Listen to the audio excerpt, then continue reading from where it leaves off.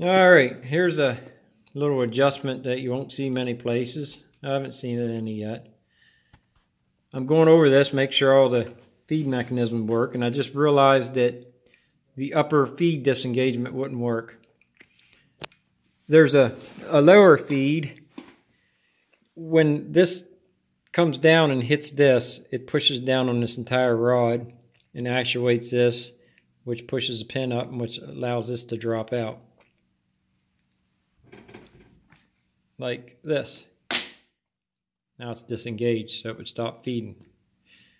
There's also one for going upwards. And that's this little pin sticking down here. Inside here is like a barbell looking thing. If that gets out of whack, it'll quit working. Mine is fine. However, if we push up on this, you can see the handle tried to move, but not quite.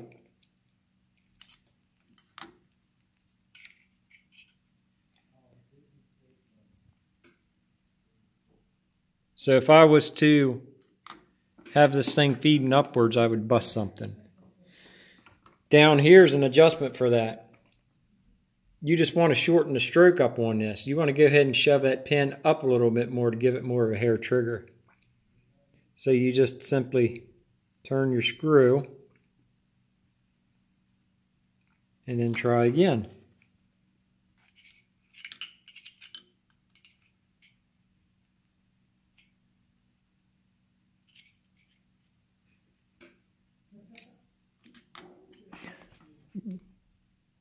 The trick is, which way do you go, George? I always get mixed up when I look up stuff upside down, but I'm not 100% sure which way you go. Okay, the other way. Go this way.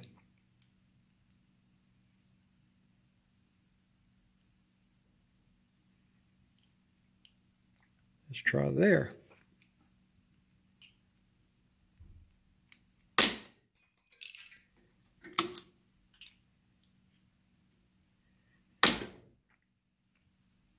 So now it's working.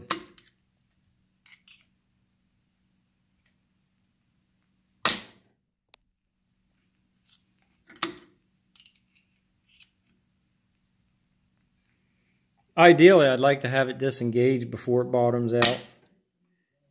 And I think it is. I don't think I'm quite there. I don't think it's bottomed out before it disengages. Yeah. Let me, let me turn it some more. I dropped my wrench over here. Need some light. Uh, let's see. Be nice the Allen wrench would stay in there, huh?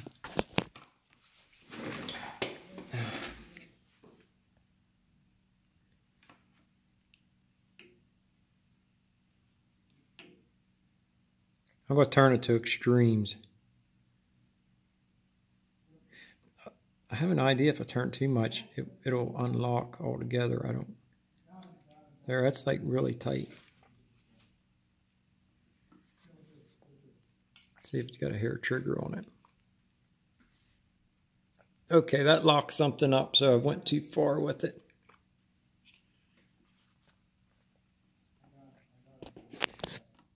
So you're going to have to check this before you actually use it because that would have busted something also. You're going to have to reach in there and push on that little button. Make sure it is functioning correctly.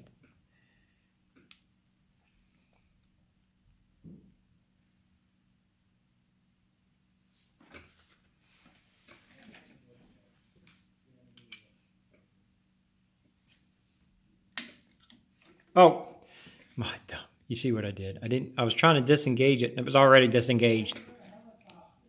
I feel stupid now. Ooh, do you see that? It's got a hair trigger now. You just barely move it. That's what we want.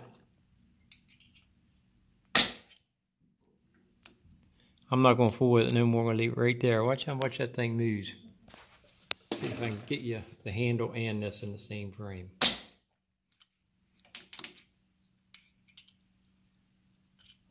Look, you can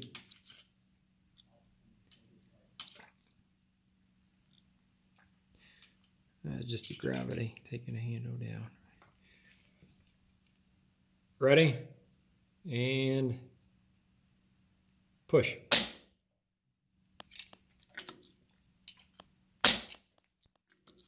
So that ought to do it. Now we can check, of course, check her down too. Yeah, now you hardly got to push on that thing for it to disconnect. So that actually adjusts both of them, makes both of them more of a hair trigger.